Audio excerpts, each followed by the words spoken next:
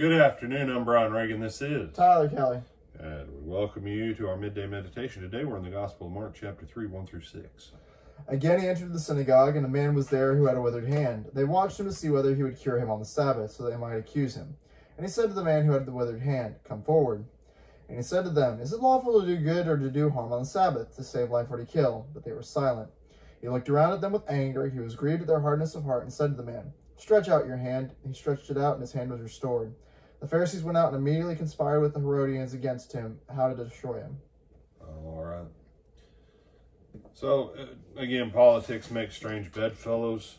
Um, unfortunately, we don't really, not going to spend the time about the fact that the Pharisees and the Herodians were working together. Um, it's the issue of the man with withered hand. Jesus has just finished up saying that the Sabbath was made for mankind and and not mankind for the Sabbath. Jesus says, I am the Lord even of the Sabbath. And uh, so here he is on a synagogue on a Sabbath day, and they want to watch whether or not Jesus is going to heal the man, to cure the man.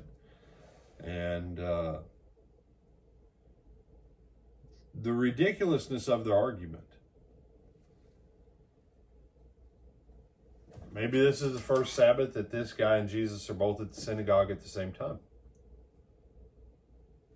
But how many other Sabbaths and how many other non Sabbath days has this guy had a withered hand that the Pharisees and everybody else could do nothing for him and would do nothing for him? And so here's Jesus, and Jesus can do something good to bless and now they're mad at him because he didn't do it on one of the other six days.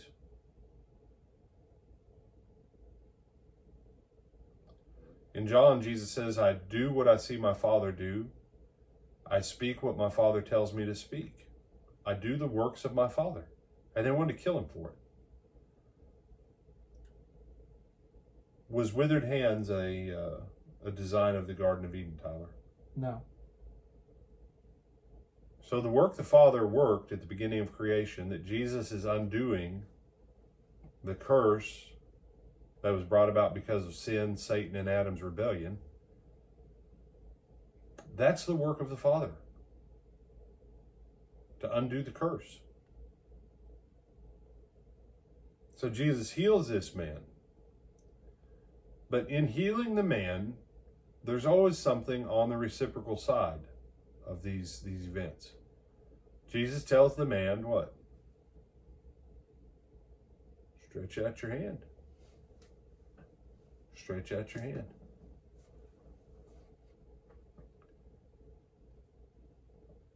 A lot of times, how faith works is you have the word from God, you take action on the word from God, whether it's speaking it or sowing or watering or whatever but you still need to take that action movement in order to make that faith effective. Abraham had a promise from God that through him all the nations of the earth would be blessed. Abraham had a promise from God that whoever blessed Abraham would be blessed by God, whoever cursed Abraham would be cursed by God.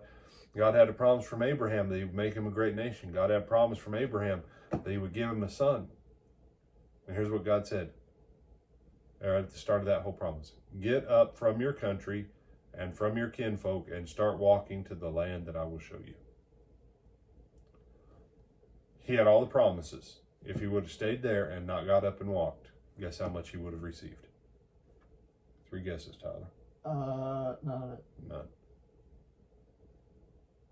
Sometimes it literally comes down to stand up and walk or in this man's case, stretch out your hand.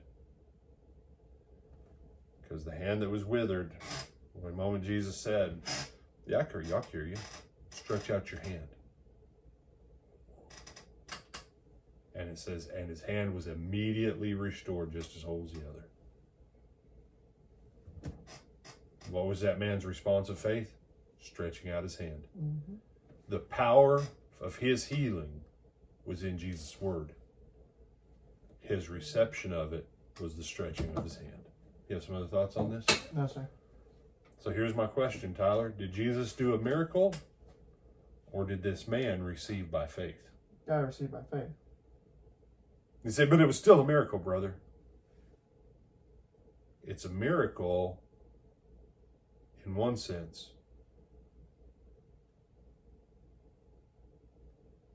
But the power of God did not become effective for the man until the man took action to receive it by faith.